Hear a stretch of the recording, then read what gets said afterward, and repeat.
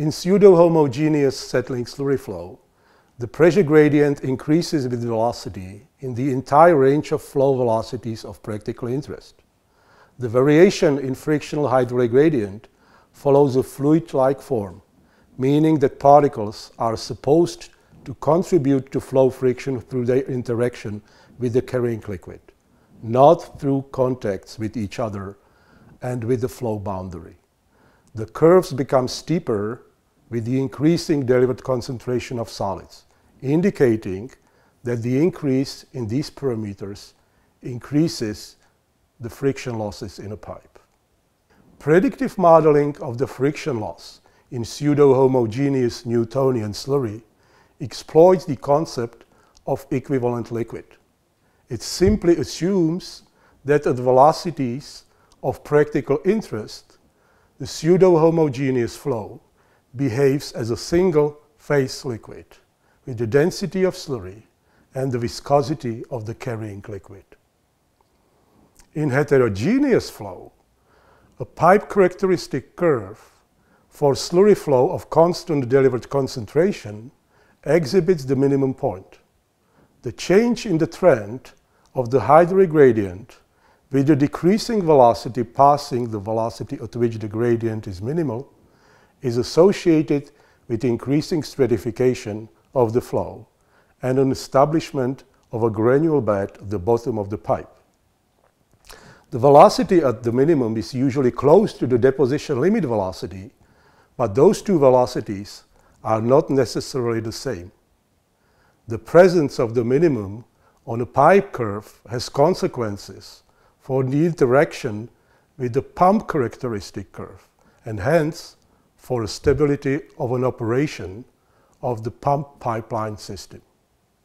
Note that if the flow velocity increases, then the pipe curve tends to the curve of the carrying liquid, indicating that the contribution of solids to the total pressure gradient decreases with the increasing velocity. This is due to the decreasing proportion of contact load particles with the increase of the velocity of the heterogeneous flow. The described trends are captured by semi-empirical models for heterogeneous flows. Those relate the dimensionless relative solids effect with other suitable dimensionless groups, typically containing the flow velocity, particle size, particle relative density, and liquid viscosity. If coarse particles are transported, then the partially stratified flow or even the fully stratified flow is the only plausible flow mode. Hence, the contact friction is the dominating friction mechanism through which the transported solids contribute to the pressure gradient. The contact distribution is weakly sensitive to flow velocity, and therefore the pipe characteristic curve of the fully stratified flow virtually doesn't tend to the carrying liquid curve. Layered models, as a two-layer model, are applicable to fully stratified flows and partially stratified flows of settling slurries.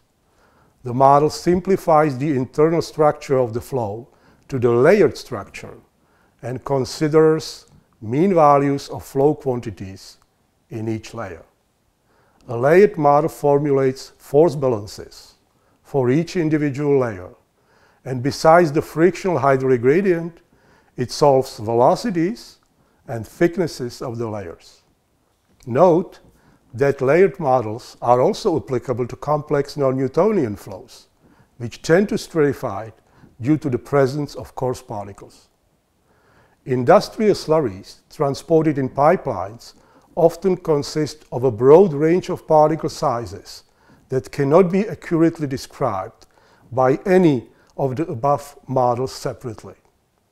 A multi-component model, as a four-component model, consists of the weighted combination of the above described models for pseudo-homogeneous flow, fully stratified and heterogeneous flow, together with the Newtonian carrier fluid model.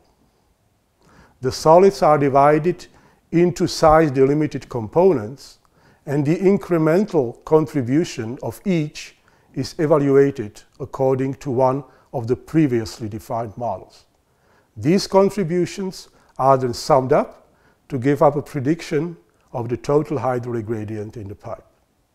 The component model can be used with settling slurries of any grading profile, from broad to bimodal.